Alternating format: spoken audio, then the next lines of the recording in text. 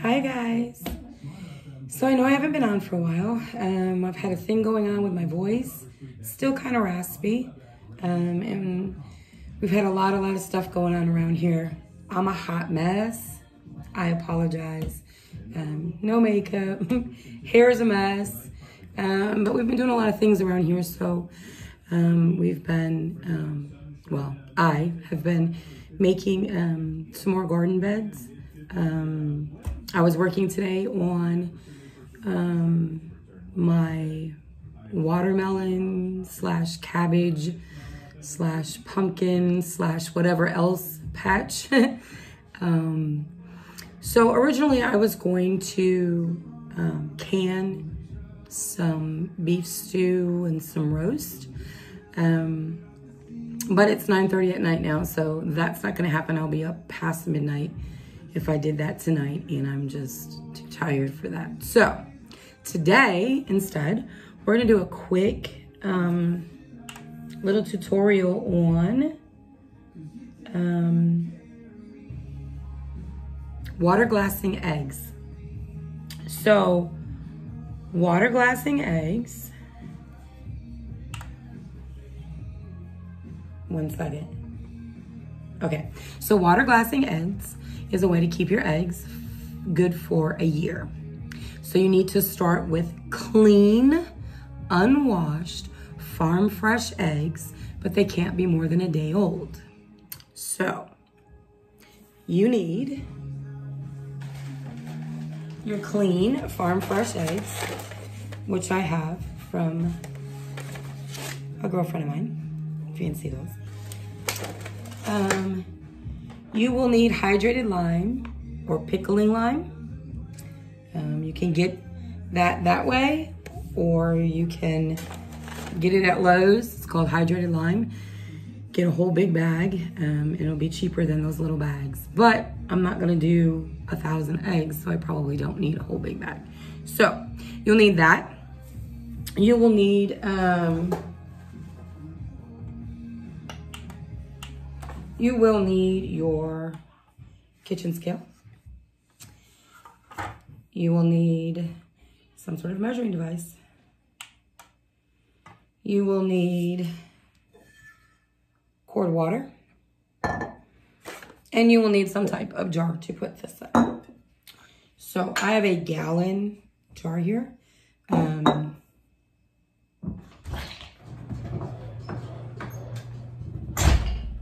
that's a kid.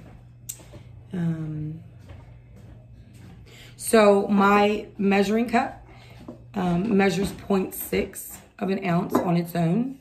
So what you need for this is you need a ounce by weight of the pickling lime per quart of water. Room temperature, not hot, not cold, nothing like that. Room temperature is sufficient. So you're going to take your eggs and make sure that they're clean, which they are. And you'll have to sort a little layer down at the bottom. The ones on the bottom, you can't necessarily put, um, you can't put point down. The reason you want to put your eggs point down is because there's an air bubble in here. So you want that to fall down there. But you can't really do that um, with the bottom row. So just lay them in there. Um, making sure that they're clean. Um, if they have a little bit of dirt on them or something, just wipe it off with a dry cloth. Um, you don't want to wash them off because you don't want to wash the protective bloom off. You want that on there to help protect the egg like that. They're different egg. isn't that cute? It's speckled.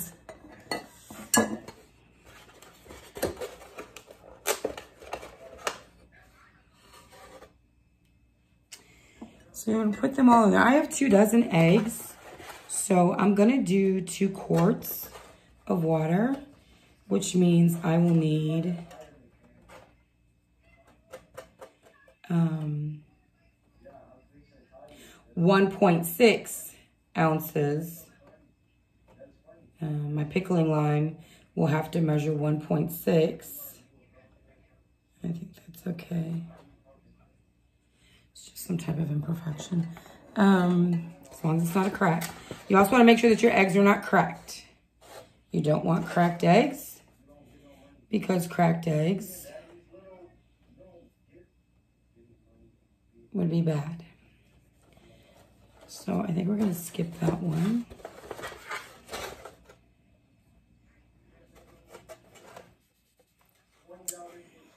So we've almost got our first layer in. And then we can start putting our eggs in point side. There we go. Actually, I could probably do, no, that one won't. So, all right. So we're gonna put them in now, point down. Because now it'll be a little bit easier to get them in there like that.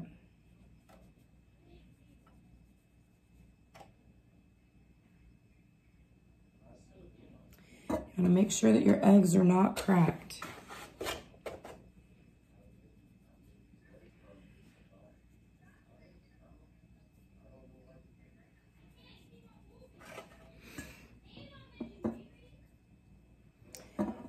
Point down.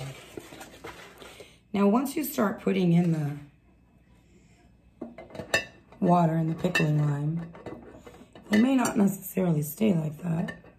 They're going to move around some, and that's fine. I'll put that egg in my basket. And we'll clean that up when we're ready to use it. And put it in the refrigerator.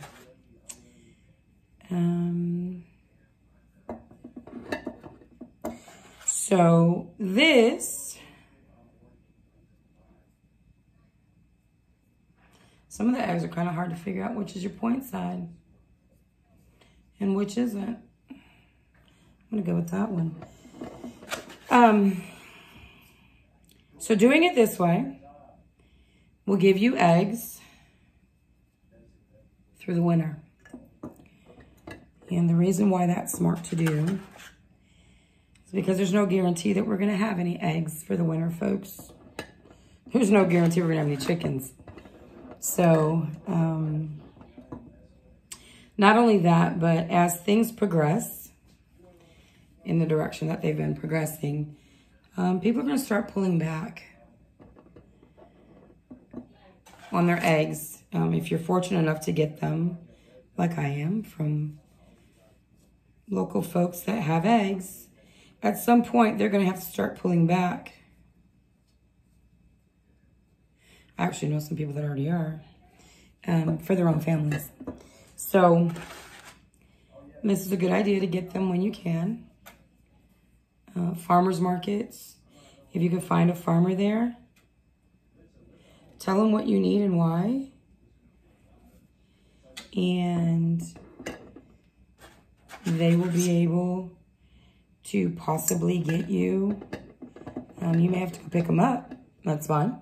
But they may be able to give you some clean, unwashed, farm fresh eggs that you can water glass as well so that you can have them for your house. Once you've water glassed them, you just put them in a cool, dark place and just leave them until you're ready to use them. All right, so we have 23 eggs in here.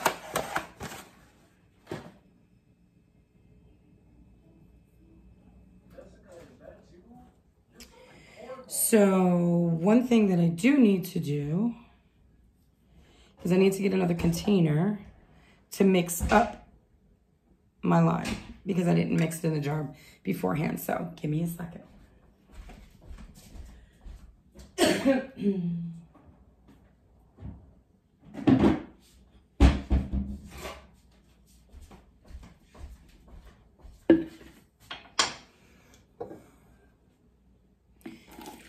So to put our first quart in. In our lime. We're going to mix that up.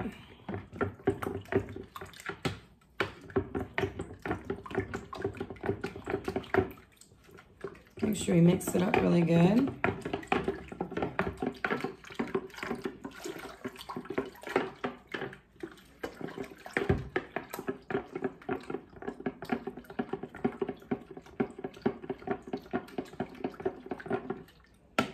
And then we're gonna pour it over the eggs.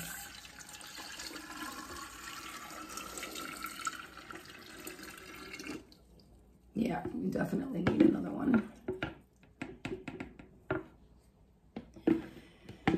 And then we're gonna measure out some more of the pickling lime.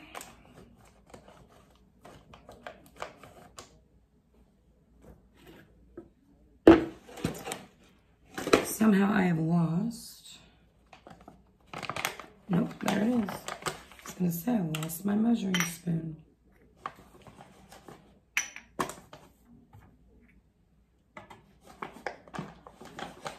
So it's measuring back, my container is measuring back 0.6 again. So we just need to get this to be 1.6.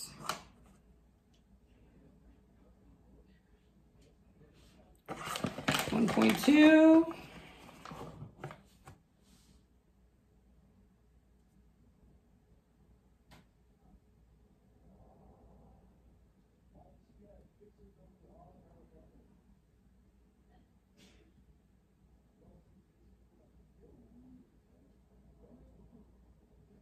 One point six. and we're gonna take our second quart of water. I'm gonna dump that in here. And we're gonna add our ounce of pickling lime. And we're gonna mix that up again.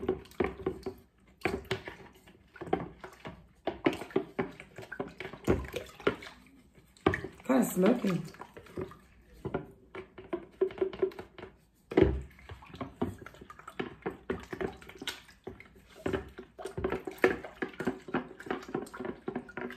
It up really good. So we don't want anything left in the container. We want it all in the eggs. And then we'll pour that over the top as well. So,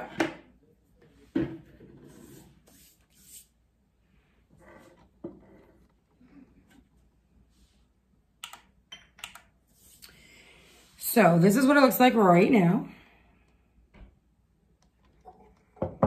Once the lime settles, it will look like this. This is two dozen. Aren't they pretty? You can see the lime on the bottom. And these will keep for at least a year. Now, there are some people that have used them at 18 months. I don't know about that. and they say they've been perfectly fine um, but at least a year. Um, and obviously you want to check them periodically, make sure that there's no smell, make sure that you don't see anything in there that looks bad. Um, but, um, yeah, that's that. If you look, you can see the lime starting to settle already. So that is that. So that's how you water glass eggs. Um, it's pretty cool. Amish people have been doing it for centuries. Um, so, um, that's that, guys. Um, that was just a little quick thing. Sorry if it kind of seemed like it was dragging out a little bit. Um, but today has been one heck of a day. busy, busy, busy. And then I have a bag of pickling lime already open somewhere that I can't find. And that's just driving me insane. So hopefully I'll be able to solve the mystery of the missing, the disappearing pickling lime uh, soon because it's going to drive me insane now. So, but what have you guys been doing? What have you been doing to prepare for what's coming? Because uh, it's coming. It's coming pretty darn fast too. Um, and I think they're proving on a daily basis that they don't really care about what happens to us. Um, the fact that we're shipping pallets of baby formula to the border for illegals and their children And we have children in our country whose parents are driving four, five, six hours to try to find formula and they're coming up empty handed. I have a problem with that. I have a big problem with that. So, um, I'm, I'm not, I'm, I'm all for helping anybody, um, but not at the expense of our own people. Our people come first, period. Our children come first before anyone else's. And it's really sad what's happening right now. It's, it's actually, it's beyond sad. It's, it's horrific. I never, I never thought I would see anything like this. Um, the food shortages are going to continue to get worse. Um, uh, we're about to be hit with a diesel shortage on top of that.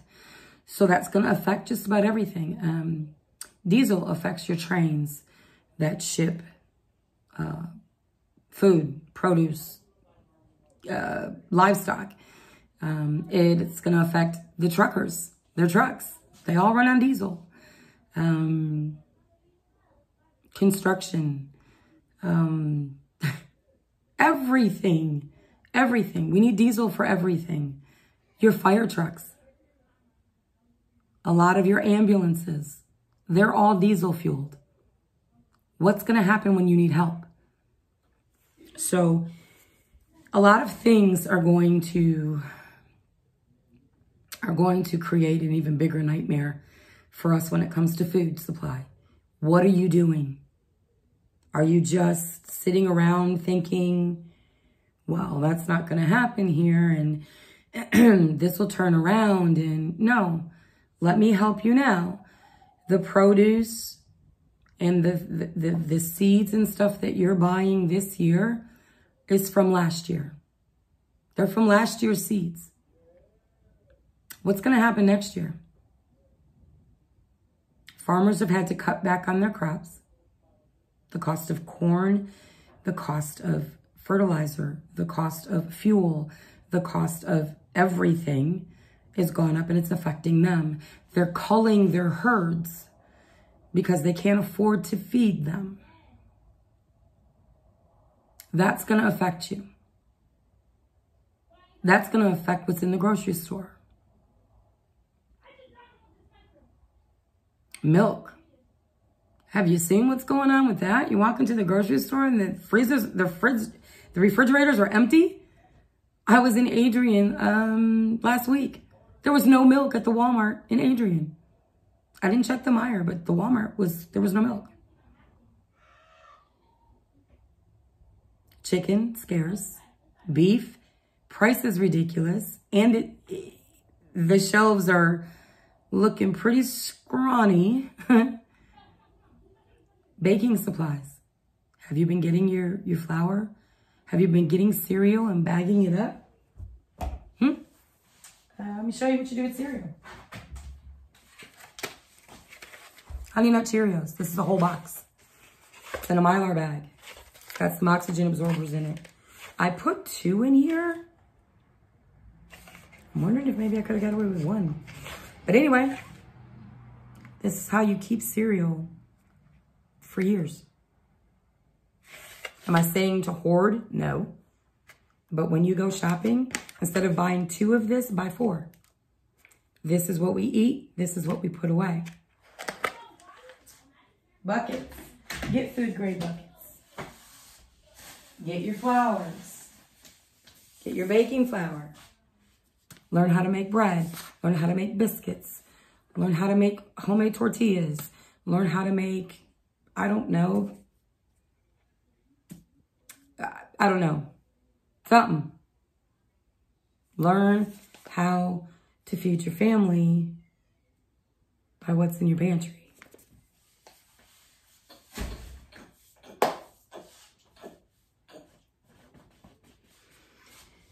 So, I don't know. Things are getting pretty scary. Um, price of gas went up again today, I see. It's, uh, I took a picture. Gas in Adrian at the corner of Treat and 223 was 459. 459. I remember when gas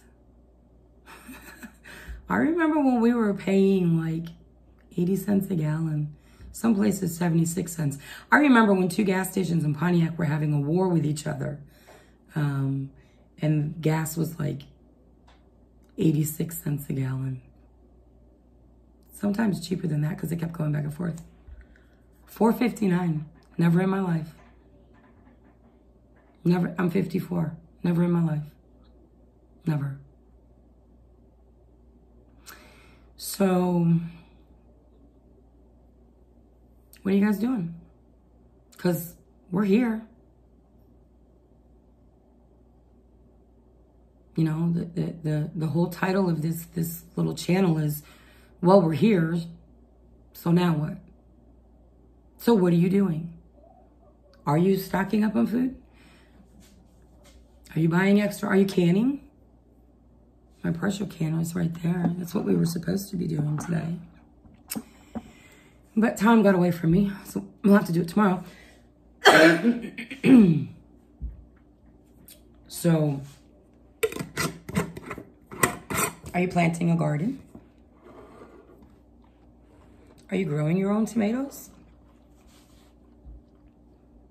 Cucumbers? Are you learning how to make pickles? Are you buying frozen vegetables? Did you buy a food dehydrator? Are you dehydrating vegetables and storing them in, I don't know, food grade buckets? Like this.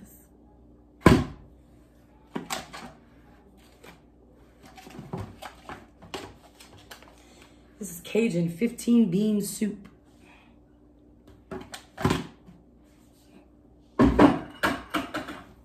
Dry beans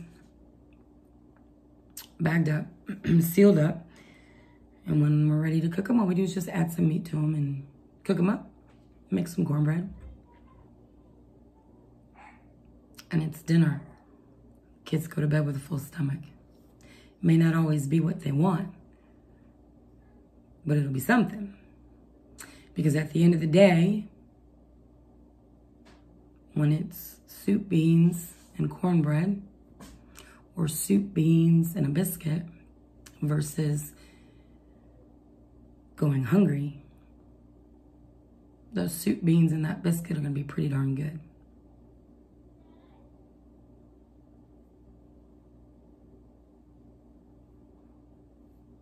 Are you stocking up on your toilet paper? Because you know what happened last time with the toilet paper, right? I was at the corner store, a little corner market, and I just kind of looked and uh, their paper aisle was looking a little skimpy. I don't know what it was about the toilet paper, y'all. But you remember what happened. So you should probably get your toilet paper. Other things. How long does a bottle of shampoo last in your house? A month? That means you need 12 to get through a year. How long does body wash last? I'm the only female in my house now. So a bottle of body wash will last me, you know, depending how the size, three months. so I need at least four of them to get through one year, right? Bars of soap, do you have backup? Toothpaste. How long does a tube of toothpaste last in your house? Things that we don't normally pay attention to, we need to start paying attention to. Do you have a food dehydrator? If you do, did you know that you can make your own onion powder, garlic powder, make your own seasonings? Are you stocking up on seasonings? What good is having meat put away if you don't have any seasoning for it, right?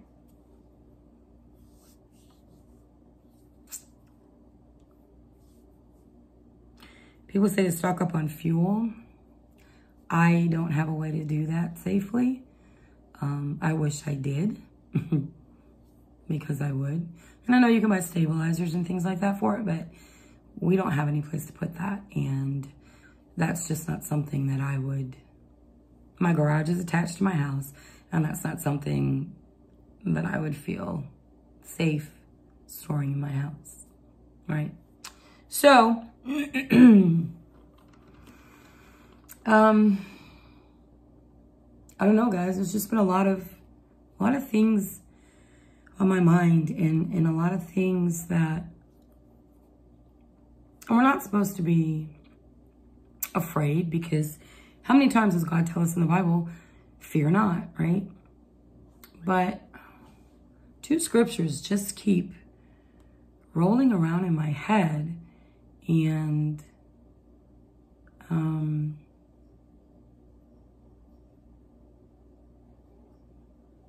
you know, they were Matthew 24 and 19. Um, and it talks about how terrible it'll be in, in those days, how terrible it will be for pregnant and nursing mothers. And how awful is it right now for someone that is pregnant or has a baby and can't nurse for whatever reason.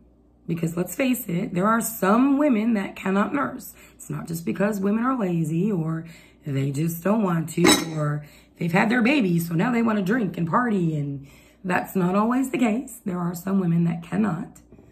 Uh, my daughter was one of them with her last son. For whatever reason, she just could not produce enough milk. Um, with her first son, she could feed six kids every hour. Um, but for some reason, with the last one, she couldn't. And um, I started ordering him organic formula. so, um, and he's just as healthy and smart as a whip. But um, can you imagine how awful that is? to go to the store and you can't find your baby's formula?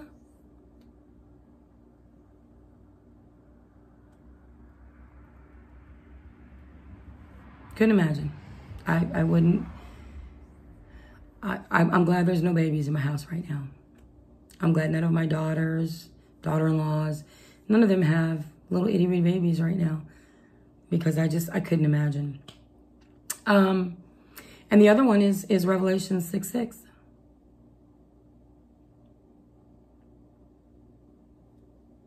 A day's wages for a measure of wheat.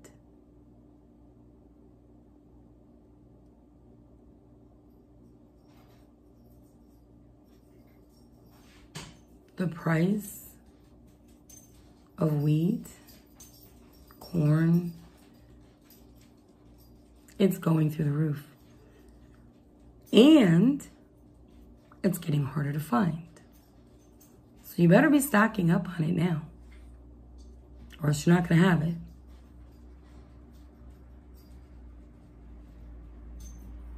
And like I said, whatever you have for your meal, a biscuit will help stretch that. It'll help fill up your family.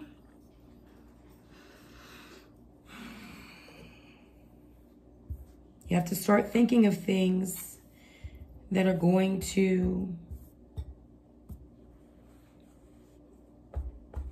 stretch. Um, fillers, you know, things that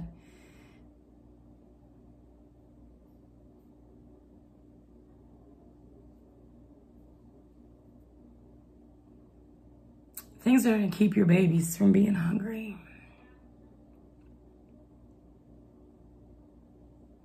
And pray. Lots of prayers because um,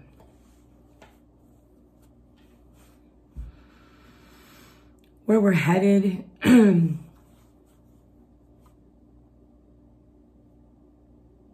the trajectory that we're on, the path that those that are in power have chosen to take is going to have deadly consequences for some of us. It's not a joke. That's not a conspiracy theory. It's not um, anybody that can say that that's a conspiracy theory has not been to a gas pump, has not been to a grocery store, has not seen a baby formula aisle, has not seen milk not in the, the freezers and the coolers, has not seen the meat not on the shelves, has not seen the empty spaces in the pasta and the rice and the flour. Um, anybody that can spout that, you're beyond help. Because if anybody is sitting around thinking that we're going to be okay and all of this is just because of Russia,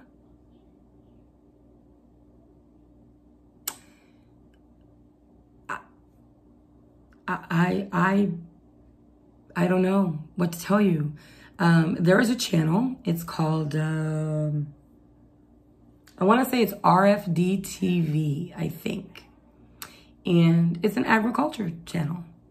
So at 11 o'clock, um, agriculture news comes on. And I've been watching that. And the farmers on there are extremely concerned about our food supply. They are extremely concerned about um, the fertilizers.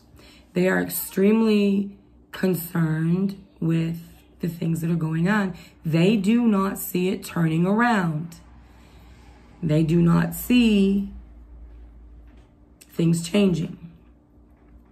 And they are already saying that they have to cut back on what they plant this year um, which is going to affect next year. It's going to affect the fall. It's going to affect winter. It's going to affect the seeds that are able to be saved for next spring, which is going to further reduce the crop for next year. So, um, I don't care what Circle Back Jen tells you. Oh, she's gone now, isn't she? That's right. She went over to MSNBC. Hmm. I don't care what her replacement tells you. I don't care what Brandon tells you. Um, I don't tell care what any of them tell you. I don't care what people that work in agriculture tell you um, that work for the government. Um, when the farmers and the ranchers are telling you we are extremely concerned about our food supply, when they tell you that we are having to call our herds because we can't afford to feed them because of the cost, when they tell you we can't plant any corn this year or we can only plant six out of 12 of our fields or whatever, if it's coming from them, listen to them. Because I will believe them because they're the ones responsible for our food before anybody else gets their hands on it. They're the ones that grow it. They're the ones that raise it. So if they're saying there's a problem, you better believe there's a problem. Just like the truckers. If the truckers are telling you there's a problem, we can't get fuel, or we can't afford to pull and ship and deliver, then you better believe there's a problem. Doesn't matter what good old Joe and, I'm sorry, Brandon and his administration is telling you. There's a problem. So, folks, we're not headed for a recession. We are headed for a depression. A modern day depression. But here's the difference between now and back then when it happened in the 30s and 40s. People back then, they had a skill set and they had knowledge that people today don't have.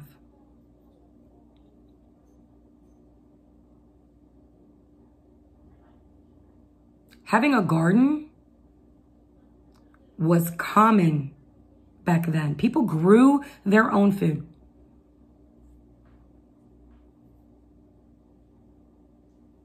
People today don't know how to do that. Very few.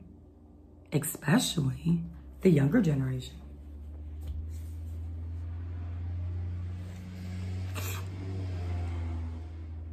People don't know how to can. They don't know how to make bread. Did you know you can can milk and butter? yeah, you can. You can can just about anything. People today don't know how to do that.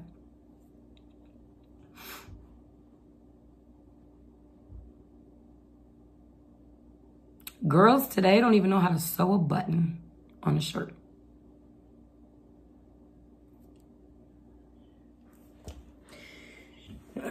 so here's my question. I was thinking about this the other day. So when it comes to this modern day depression, when we're standing in bread lines, will it only be those people that do as they're told? play by the left's rules, get the vaccine that'll be allowed to be in those breadlines? Because, you know, I'm starting to talk back up about that again. They got to get everybody to get the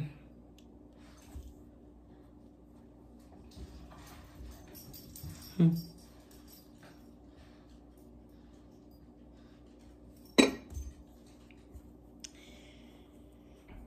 Some very scary times that we're living in, folks. Things aren't going to get better anytime soon. You got to get moving. You got to do what you can while you can. Learn what you can while you can, while you still have internet access. Because I do believe at some point, real soon, there's going to be some sort of crash. I also believe that they're going to mess with our electrical grid this summer. Might even be this winter. Because they've been talking about it an awful lot. About their concerns that the electrical grid is going to crash. It's going to go down. And, and, and Brandon's administration has no plan in place for this transition to this greener energy. so they're not done with us. They're not done with us.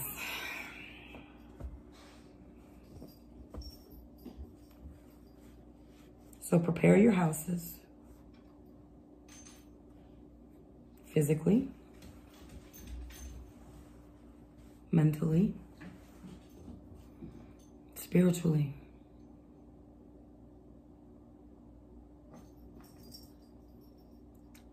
And um, pray.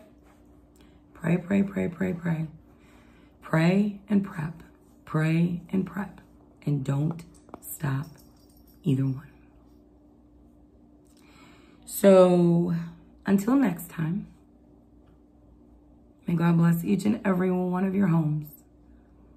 And may his hand of protection be on every single one of you. And I pray blessings and peace over all of you. Have a good night.